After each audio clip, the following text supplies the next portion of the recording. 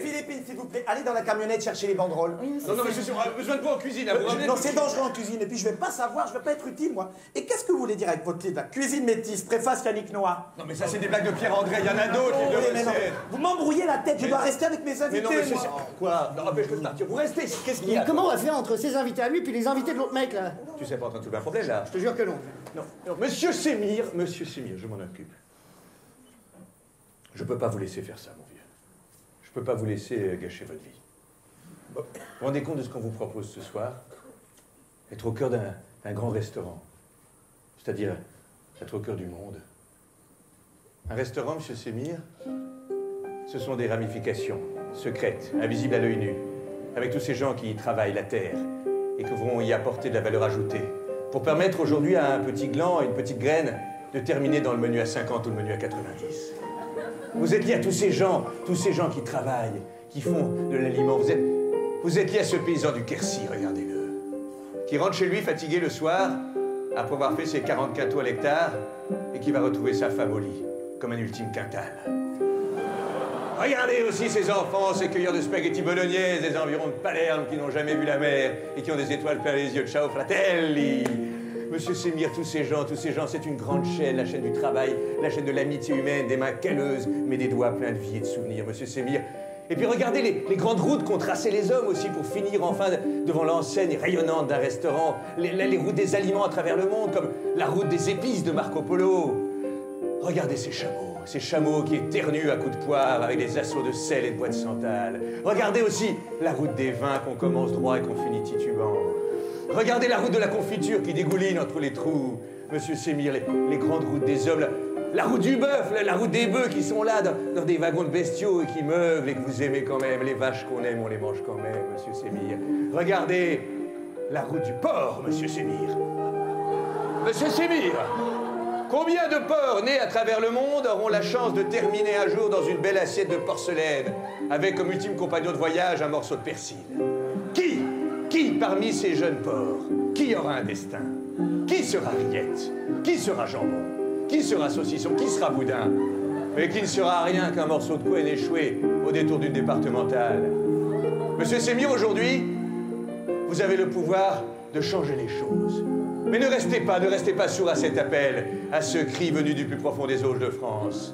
N'entendez-vous pas ces porcs occupés, porcs humiliés, porcs martyrisés, mais porcs libérés Un homme Un homme qui a dit non Un homme qui a dit je vais transformer ta vie de porc en destin, ton groin en gloire. Cet homme, c'est vous, monsieur Sémir. Vous, vous qui êtes au cœur de la beauté du monde. Les choses les plus belles du monde arrivent au restaurant.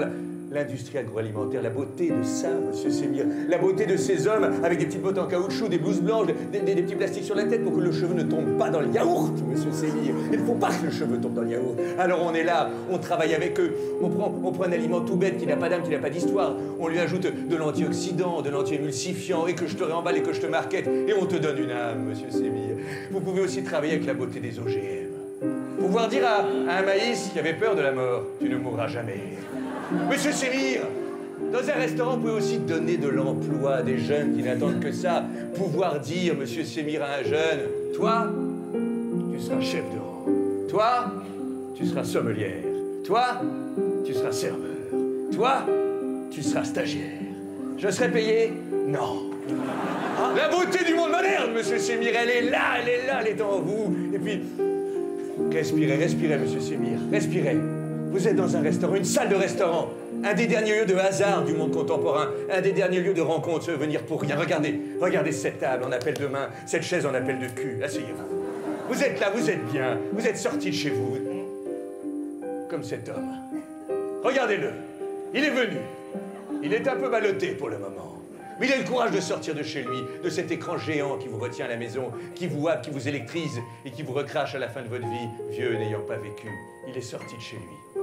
Il a affronté les, grands dangers du monde moderne, les embouteillages, les intempéries et, le plus grand danger de tous, l'excès de prudence, monsieur Sémine. Il est venu seul, mais il l'a vu. Alors, il se lève. Et là, monsieur Sémir, il traverse, comme hypnotisé par son regard. Elle se lève aussi. Et miracle des hasards, miracle des rencontres et du restaurant, au cœur de la salle, l'amour. Vous êtes un metteur en amour, monsieur Sémir. L'un des plus beaux rôles du monde, un rôle que j'aurais voulu me donner à moi si je m'étais rencontré à temps. Mais est-ce qu'on se rencontre dans sa propre vie, non? C'est vous que je rencontre, monsieur Sémir. Vous C'est vous que je veux à ce poste central. Et si vous me dites non, ça risque d'être n'importe qui. Alors je vous en supplie, dites-moi trois lettres. Dites-moi oui. Oui. Ah oui, vous m'avez convaincu. hein. C'est beau.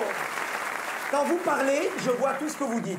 Vous voulez que je sois votre cuisinier ce soir? J'accepte. Vous me donnez ma chance, je vais la saisir. Parce que vous savez là où je travaille, hein, j'ai même pas le droit de toucher à une casserole, moi. Oh. Je les vois faire le céleri rémoulade, la saucisse coquillette. Mais moi, j'y ai pas accès. Ah, pardon, euh, monsieur Sémir, euh, la saucisse coquillette. euh, vous, vous- vous travaillez où exactement en ce moment? Ben, la cantine scolaire. 25 ans de cantine scolaire au lycée Georges Brassens, c'est même pas le droit de faire cuire un œuf. On dit juste à monsieur Sémir, allez, sortez les poubelles, nettoyez, frottez. Pourtant, je suis dégourdi. hein. Quand il n'y a pas de détergent, moi, je me débrouille. Bon, Monsieur Sémir, pardon. Oui. Vous y faites quoi exactement là, en ce moment, la, la cantine scolaire Georges Brassens? Mais la plonge Je vois que le chef est arrivé.